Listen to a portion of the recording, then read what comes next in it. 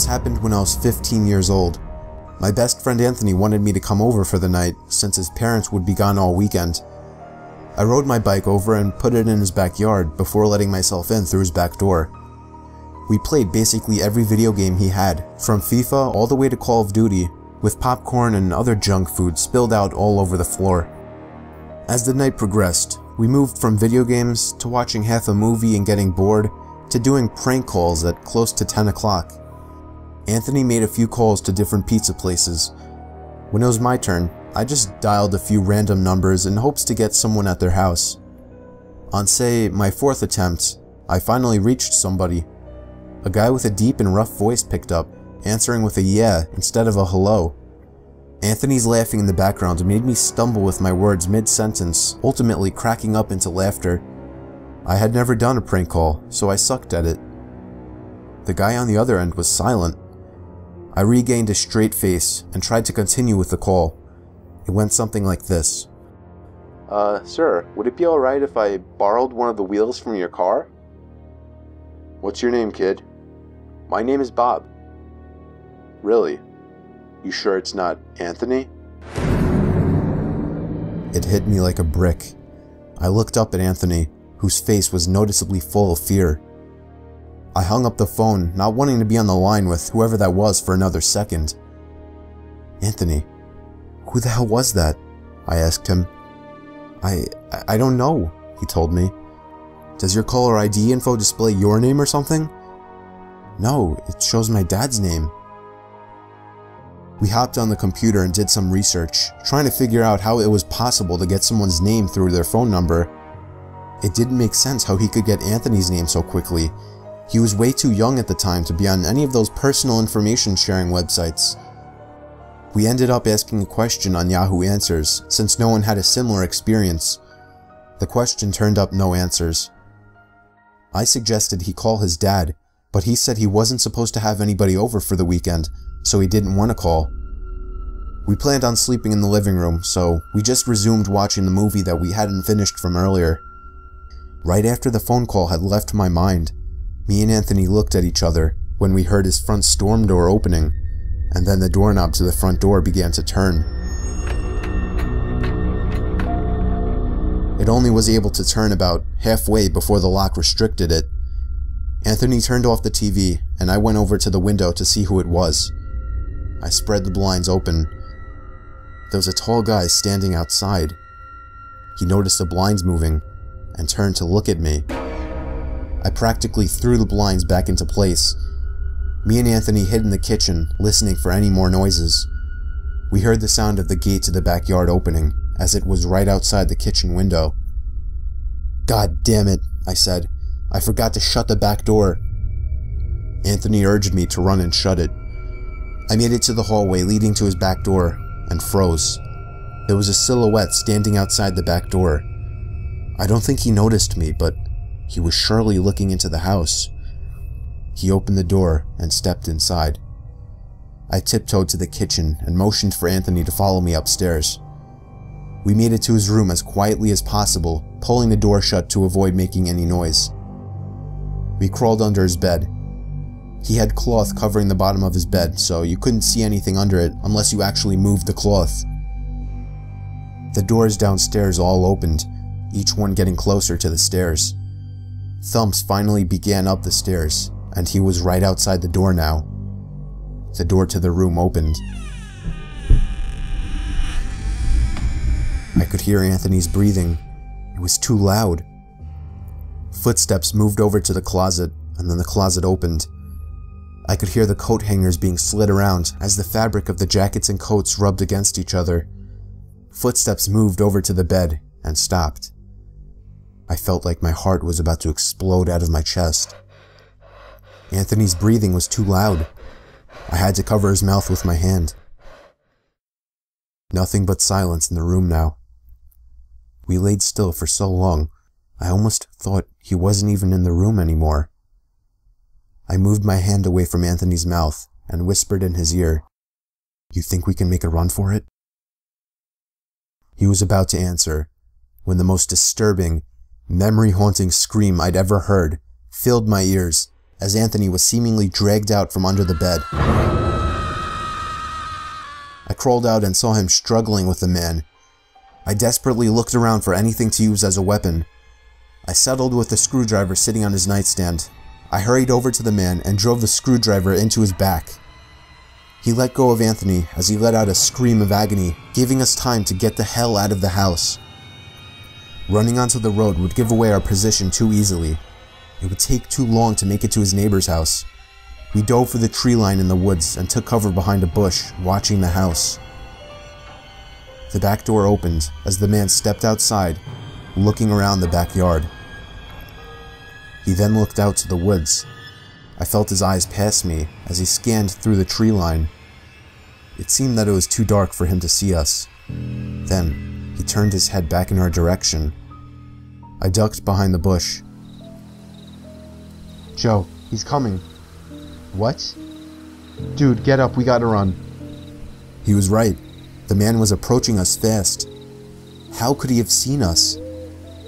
We ran through the woods with the leaves crunching under us, giving away our position when Anthony tripped over something, I crouched down with him, hoping we had run far enough.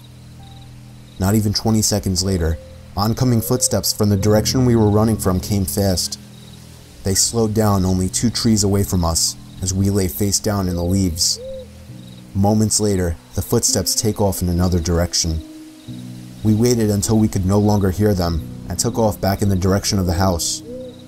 While running, over the sound of leaves crushing and my heavy breathing, I could swear I heard leaves crushing from behind us. We made it back to his backyard, into his house, and this time remembering to shut the back door. We were now able to call the police. Anthony stayed on the line with them, while I patrolled the back windows making sure nobody was out there.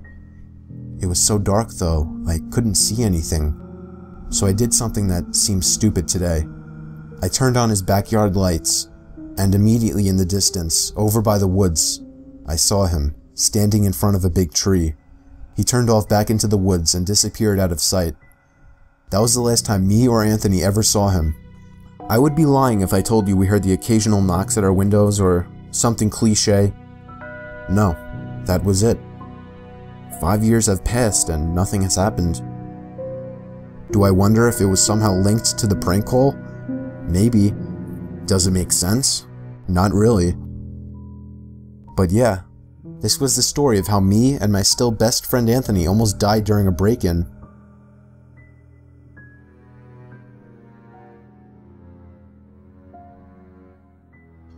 Me and my wife have had our fair share of arguments, but there was this one night that she wouldn't stop bitching over the stupidest shit.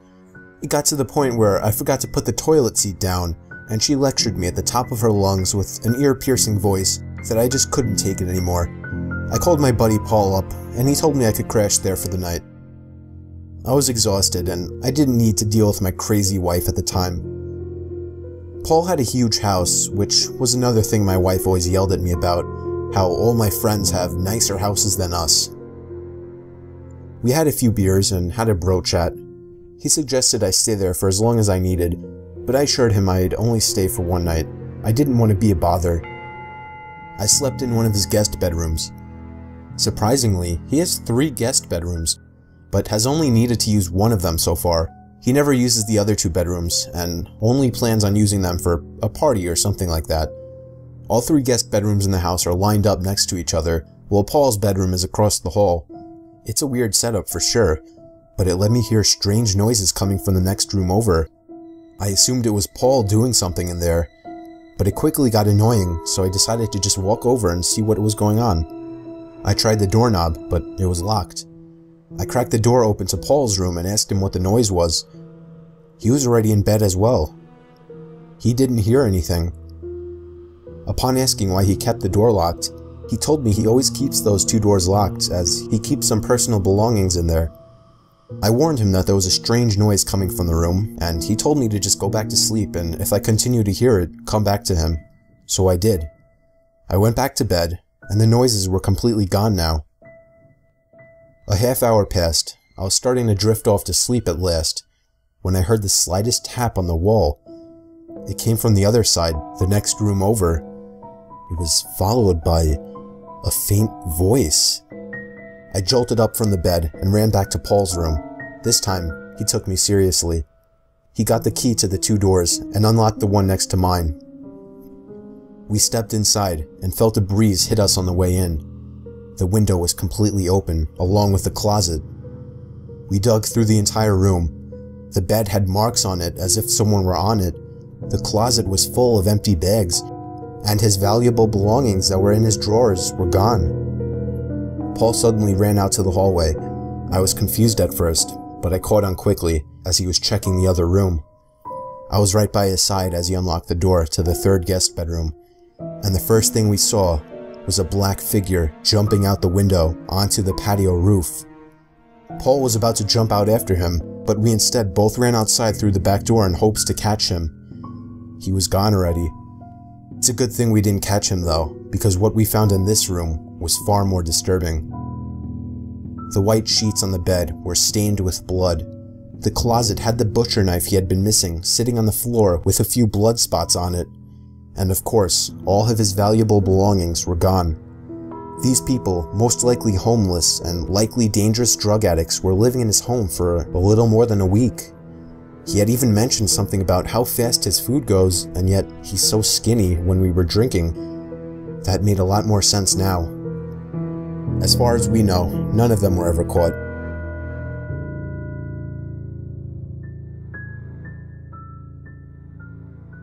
I remember it like it was yesterday. It was my first sleepover, an important part of my childhood. It was my good friend. His name was Jordan. We were 10 years old. He had a huge basement where we could play video games until 1 in the morning and then sleep on the couches. Skipping the teeth brushing like two little rebels, we went straight to trying to get some sleep on the couches. I fell asleep with ease. I woke up at some unknown time. I realized the TV was still on, with a blank screen.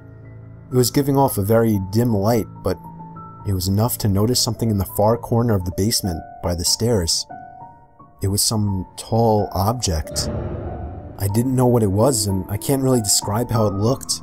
All I know is it almost reached the ceiling.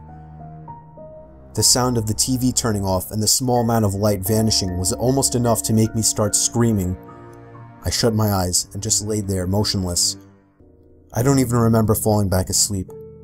All I remember is waking up to a sudden and horrid screaming coming from upstairs.